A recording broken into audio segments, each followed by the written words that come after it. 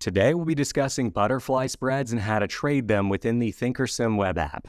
We're going to start by learning what they are, how they work, and also how to manage them throughout the life of the trade.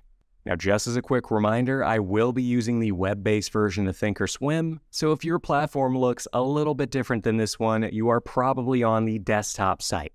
In order to access this one, you will need to head over to the website trade.thinkorswim.com and then go ahead and log in with the exact same user ID and password that you normally use. Now, like I mentioned at the very beginning of this video, we are going to be learning about butterfly spreads, which are composed of both a long and short vertical spread, with the short option sharing a common strike. Rather than trying to use these options to bet on a stock price's direction, a butterfly spread is intended to be far more neutral, paying off the absolute most if the underlying stock doesn't move at all until expiration. Honestly, I generally like to think of them more as lottery tickets since it has very little risk and a huge payoff, but with a very low chance of ever getting to make that max profit on the trade. Now, if you're brand new to butterflies, that probably sounds a little bit confusing, but I promise you it'll make a lot more sense after we go through a few examples. So for now, let's go ahead and begin by pulling up an option chain. And to do that, we'll start by coming up here to the search box and throwing in the stock symbol that we want to trade. In this case, I'm typing in Apple or AAPL. From there, we can then find the option chain by coming down here below and simply clicking on the little arrow to the left of option chain. That will then display all of the available options expirations down here. And on the left-hand side, we can see all of the expiration dates themselves, beginning here at the January 13th of 2023 expiration and going all the way out to June 20th of 2025. If we were to look to the right of each of those expiration dates in the parentheses here, we can see the number of days until expiration. Then coming to the far right-hand side, we can also see the implied volatility as well. If we were to come back up here and actually click on one of those expiration dates, in this case January 20th, you can then see a list of a few of the available strikes right down here in the center, beginning here at 134 and going out to 136. In order to expand that list out even further to see even further out of the money options, we could either hit the More button on either side, or by coming up here to the Strikes menu in the upper right hand corner, simply clicking on that. Then within the menu down below, we can select how many strikes we wanted to see. So in this case, I'll come down here below and select 12. And now looking down the center, we can see quite a few more available strikes, beginning here at 129 and going out to 140. If we were to look to the left of that strikes column, you can actually see all of the available call options. To the right are all of the available put options. Taking a look at the top of that option chain, we can also see these column headers here, which are simply telling us what information is being displayed in those columns. At the moment, we've got the current volume for the day, the open interest, the delta, the probability in the money, and the current bid ask of those options. Now, in order to actually place the trades themselves, you will simply be clicking on the asking price whenever you want to buy and the bid price whenever you want to sell. Since we're going to be creating a butterfly spread today, we're going to need to begin by selling an at the money option. Either side, whether a call or put, it doesn't really matter. For right now, in this example, I'll just come down here below and I'm going to sell an at the money put, which in this case would be the 134 strike put. To the right, I can see that it is currently trading for $1.74 by $1.76. And since I want to sell it, I'm going to come back over here to the current bid price and click on that number. You can then see that that automatically built out an order down here below to sell one of those 134 puts. After we've done that, we'll then need to add the wings by buying puts to either side. So if I were to come back up here to the option chain and just scroll down a little bit so I can see to either side. So now what I can do is come up here and buy a put to either side of the short put equidistance apart. So in this case, if I were to come up here and let's say I wanted to put on a five point wide butterfly, if I were to look down five points further out of the money on this side would be the 129 puts. And here in order to buy that put, I'm going to click on the current asking price, 38 cents. I'll then need to come down here to the other side and look five points further out of the money on this side. And in this case, that would be the 139 puts. And currently the asking price is 525. So in order to buy that, I'm going to go ahead and click on it. Coming back down below to the order ticket, we can now see all three of those legs right here. But we're not quite done. The very last thing I need to do is double up the number of short options. So here where it says sell and I'm selling the 134s, I'm going to need to sell two of those. So I'm to adjust that up to two. And after I do that, if I were to look right up here above, it now says that I'm actually going to be buying one butterfly. So it knows now what I'm doing. If we're to come back down here, I want you guys to remember that the butterfly spread is essentially just a long and short vertical combined.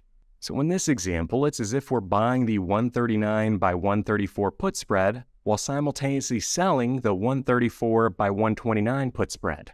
So if you think of it that way and you're already familiar with spreads, I think you'll understand why the best outcome would be if the stock were to remain at exactly 134 throughout the life of the trade. That would mean the short put spread is going to expire worthless, where the long put spread is going to expire completely in the money. So we make max profit on both of them. That's the best case scenario. Now, the chances of that happening are basically non existent. It's basically never going to happen where the stock remains at exactly our short strikes throughout the expiration, but we'll talk about that a little bit later. For now, we'll just come down here below to the price of the butterfly, and currently you can see it's trading for $2.06, and that's going to be the total cost of the trade and also the max risk on the trade. So in this case, with the butterfly currently trading now at $2.02, the max risk on this trade is going to be $202. Whereas the max profit on the trade is going to be calculated by taking the width of the spread, so in this case, $5 or 5 points, minus the cost. So $5 minus, let's just say $2.02, our max profit in the best case scenario would be $298. Now we could adjust this price, which is currently $2.01, but for right now, since I want to get filled on this thing, let's just come down here below and hit review and then hit send to actually place it. Once placed, if we were to scroll down just a little bit and look in the trade section, right here we can see that long butterfly. Now at the moment, this is actually displayed as a current trade. So that means we haven't actually bought it yet. It's still working, so I haven't bought the butterfly. And if I wanted to cancel it or edit it in some way, I could hit these little buttons in the lower right hand corner, cancel to outright cancel it, or edit it to edit the price in some way. I could also see that by coming back over here to the positions page, then coming back over here to the right to the position section, you can see I don't currently have it. And if I come up here and hit the activity tab, right here it shows that open order to buy one butterfly on Apple. Since I do want to get a fill on this thing, we're going to come over here and hit the little check mark box, then come down below in the lower right hand corner and hit edit selected. From there, I'll just come up here to the order type limit and flip it over to a market order so I fill immediately. And now I can just come down here and hit review and then send. Since it was changed to a market order, it did fill immediately. And if we come back to the positions page, then come over here and open up my position right here on Apple. You can now see the butterfly spread right here. And over here on the right hand side, the current trade price, it says I did buy it for $2.01 penny. When it comes time to close the butterfly, and ideally we want to sell it for much more than we bought it for, we are simply going to come over here and click on the symbol, Apple, We'll then come down below to the trade section and just make sure each one of those contracts is checkmarked. So I'm going to be closing out of the entire butterfly. Then we'll come down to the lower right hand corner and hit close selected. That will then automatically build out a closing order to sell this butterfly spread. And if we come down here to the price section, right here I can set in my profit target. For me personally, I am generally trying to get out of these with about 25% of the max profit, but we'll talk about that best practices in just a minute. For now, I'm just going to come here and throw in a price of $2.75, which would be about a 25% profit on this thing, and then come over here to the day order and flip it over to GTC to make sure it goes out every single day. And now to place it, we'll just come down here below and hit review, and send to actually place it. But now that you know how to create a butterfly spread within here, let's cover some of the best practices. How to pick the expiration dates, how to pick the strike prices, and when to actually close out of the spread. If we begin first with the expiration that you should choose, I generally don't go out any further than a couple weeks in time. That's going to be because a large portion of the move is not going to happen until the last few days or even the last day of expiration. So again, for me, I usually pick an expiration in the next couple days, maybe a week or maybe two weeks at the most, but that's about it. Now, when it comes to picking these strike prices, you are generally going to choose to sell the at the money options and then buy equal distant wings to either side. And I'll generally do it about five points wide on either side. Now, if you instead choose to buy an out of the money butterfly, just keep in mind that you are now putting a directional component into that trade. Instead of remaining neutral by buying an at the money butterfly, you're instead saying you think the stock is going to move up or down to whatever that price might be. That might be the only time where it might make sense to pick the put side or the call side, but generally it doesn't really matter what side you purchase. You could do all calls, you could do all puts, doesn't really matter much. Now, as for closing the butterfly, the one thing you do need to keep in mind is that you need to close this thing before it expires. Do not hold this through expiration, otherwise, you do risk getting assigned and going long or short the stock. So, to avoid all that, to avoid all that risk of ending up owning or shorting the stock, just close out the butterfly by selling it before it expires. I'd also recommend you have a predefined profit target in the back of your mind before you even enter the trade. For me, I usually aim for a modest return of 10 to 15%, or maybe like 25% if I'm feeling up to it. But the main thing to remember is that you're never going to try to get anywhere close to the full max profit.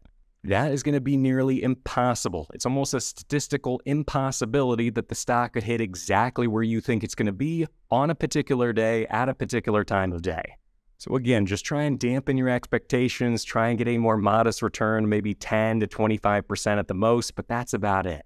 Now, on the flip side of things, if I'm wrong and things don't go in my favor, I generally leave my butterflies be. Since the risk is incredibly low, I paid so little for it, I don't have any mental stops that would cause me to exit the trade. The only thing I will do is close it before it expires, regardless of if it's for a profit or for a loss. Just make sure you exit the trade before expiration. I don't want any of you guys to get assigned the stock or go short the stock when you didn't really want to. Now, using those best practices, if I were to pull up, let's say, Meta as the example, let's go ahead and throw in Meta up here. Coming back down here below and opening up the option chain, like I said before, I typically like to trade my butterflies about a week out or the same week. So right here, I'm going to open up the January 20th for right now. Then coming down here below to the option chain, we're going to find the at the money options. So in this case, that would be the 136 strike, and that could either be the call side or the put side. For now, I guess I'll just stick to the call side. So I'm going to come over here and to sell those, I'm going to click on the current bid price of $2.90. Once that's done, I can then scroll down just a little bit. And remember, I'm going to be buying equal distant wings to either side. In that case, that would be buying the 131 calls by clicking on the asking price of 655, then coming down here below and purchasing the 141 calls as well. And again, clicking on the current asking price of 92 cents. Once that's all done, I can then move to the order ticket down here below. And in order to turn this into a butterfly, remember I need to sell two of the at the money options. So I'm going to go ahead and adjust that to two. Up here at the top, you can now see I'm buying one of the butterflies. And it looks like down here, I'm going to be paying $1.53. Besides just setting the opening price, and you know what, I'm actually going to leave it at that price, $1.55, and I'll even lock it in here. I'm also going to come down here below and add my closing ticket to this as well. So immediately after I buy this butterfly, I automatically want to put out my profit taking order right behind it to get out at a 25% profit. So to do that, I'm going to come down here below and click on the word contingent. That will then create another order just below the first one, a closing ticket with a little linking button showing me how these orders are linked together, which are currently marked with a then button meaning the first order has to fill, then the second order will get submitted. Now, I know I'm going through this quick, but I really recommend you check out this video about advance orders to learn more about it because I don't want to spend too much time on it. But again, for now, all I'm saying is whenever I buy this butterfly, I automatically want to put out my closing order behind it. So then this order will go out, and now I can set my profit target. In this case, I said I wanted my profit target to be about 25% of the max profit. The max profit being the width of the spread, so this case 5 bucks minus what I paid for it, $1.55. So the max profit is $3.45. So if I were to look at taking 25% of that number, that would be a profit of 86 cents. So all I'm going to do is add that number, 86 cents, to the price that I'm paying, $1.55, and my profit target is going to be if this butterfly ever hits $2.41. Since that is very unlikely to happen today, I'm going to come over here to the right and adjust this over from a day order to a GTC order. And then in order to place it, I will just come down here below and hit review and then send. Once submitted, if we were to head back over here to the positions page, you can now see the open order just over here on the right, and I haven't actually bought that butterfly yet, but if I do, it's automatically going to trigger this closing order ticket to go out next. But that'll cover just about everything you need to know within here on how to create butterfly spreads. Hopefully you now feel at least a little bit more comfortable with the TOS website and how to do it within here. I know it was a lot and I covered a lot only briefly, so if you are looking to learn more, consider checking out this video next. You might find it helpful as well. Otherwise, have a great rest of your week and I'll see you on the next one.